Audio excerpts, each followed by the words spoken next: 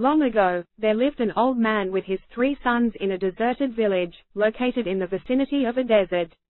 He had 17 camels, and they were the main source of his income. He used to rent out camels as a means of shipping in the desert. One day, he passed away. He had left a will, leaving his assets for his three sons. After the funeral and the other obligations were over, the three sons read the will. While their father had divided all the property he had into three equal parts, he had divided the 17 camels in a different way.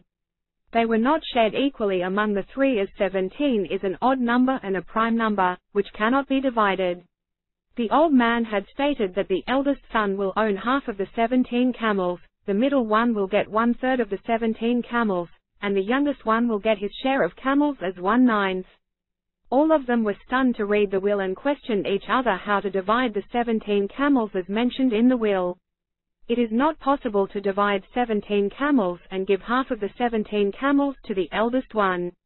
It is not possible also to divide the camels for the other two sons. They spent several days thinking of ways to divide the camels as mentioned in the will, but none could find the answer. They finally took the issue to the wise man in their village. The wise man heard the problem and instantly found a solution. He asked them to bring all the 17 camels to him. The sons brought the camels to the wise man's place. The wise man added a camel owned by him and made the total number of camels 18.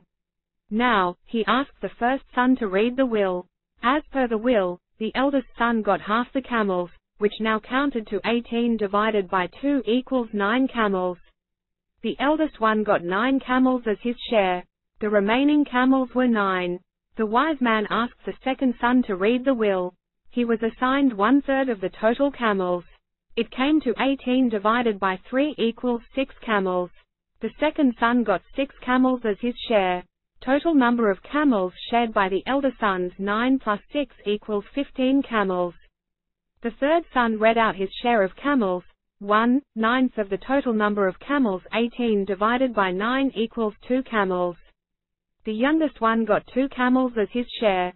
Totally there were 9 plus 6 plus 2 camels shared by the brothers, which counted to 17 camels.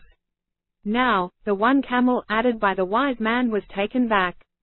The wise man solved this problem smartly with his intelligence. Intelligence is nothing but finding a common ground to solve an issue. In short, every problem has a solution.